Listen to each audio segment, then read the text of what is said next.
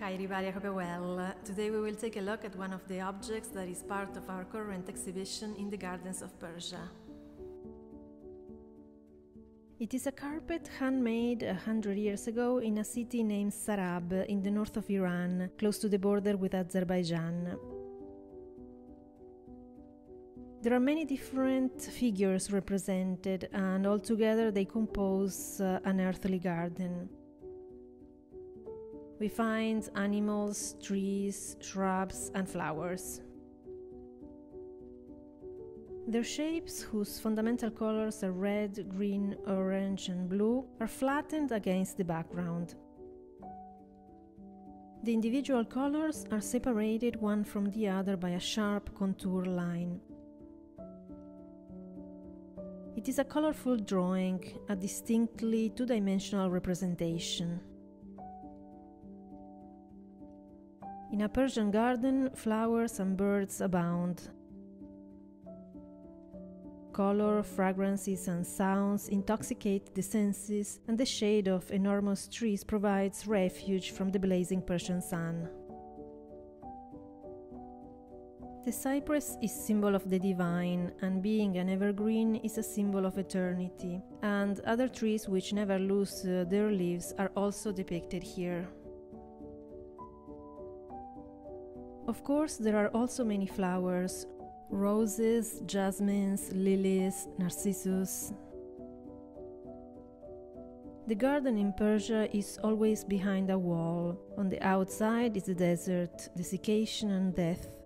Within the wall are flowers, fruit, shade, water, and life. Carpets of this size are done by several people, often women. Usually, the master sits on the right side while the apprentice sits on the left. They start at the extremities and meet in the center. The final image is a mirror symmetry. It is a collaborative work. The master sings the colors red, red, red, pink, pink, pink, and so on. The apprentice executes what she hears. They both work in close contact with the carpet and do not have an overall view of what they are doing. So, usually, a third person sits in the back of the room and looks at the entire composition, making sure that the design is forming correctly.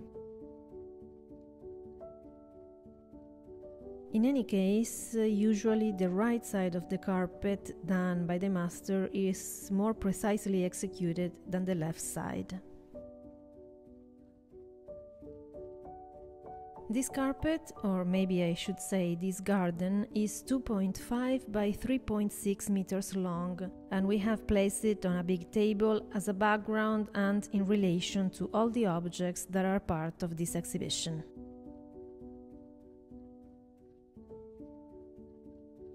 The first element that we placed on the carpet is a flower muslin fabric. This specific pattern is liberty and there is no close relation to Iranian culture.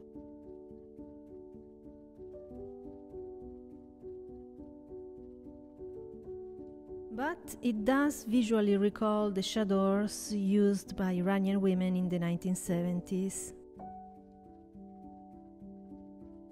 They all had a flower pattern, and women would wrap this garden around their bodies. And these are photographs by American photographer Janine Weedle, who visited Iran in 1976.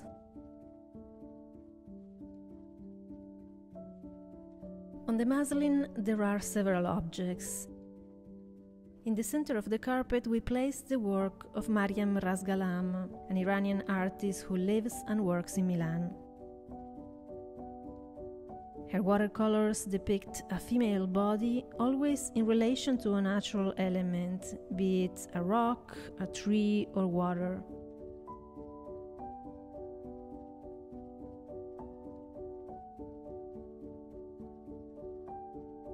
This figure, she says, is the memory of an aunt of hers that would always tell stories to the children in the garden of their family house in Isfahan.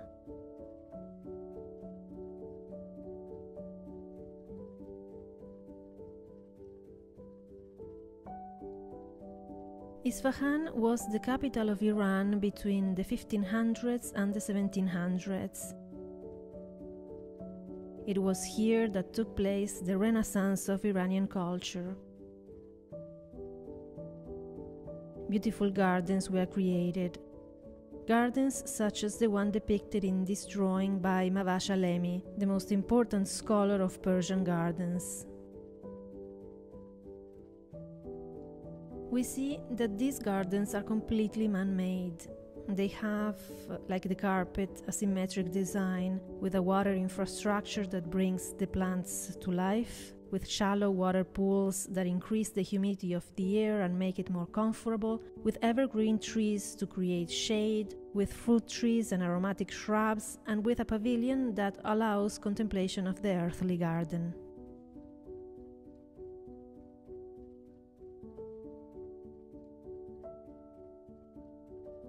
We saw these elements already on the carpet the water, the pomegranate, the flowers, and we see them again represented in the books placed in its perimeter.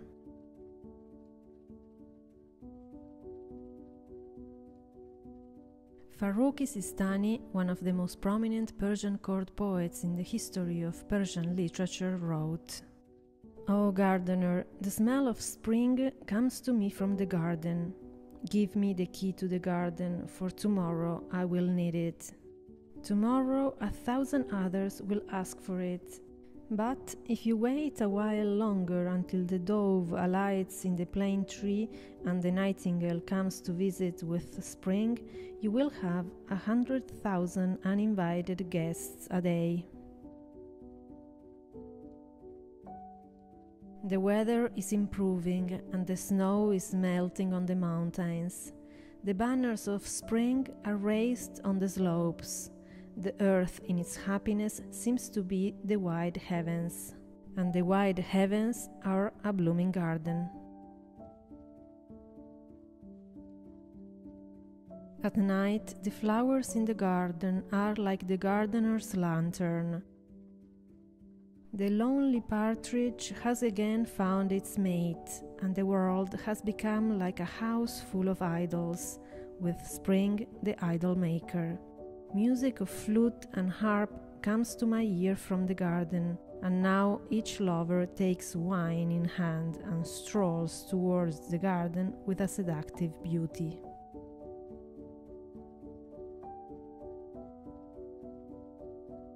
Thank you for watching and see you in the next video. Bye.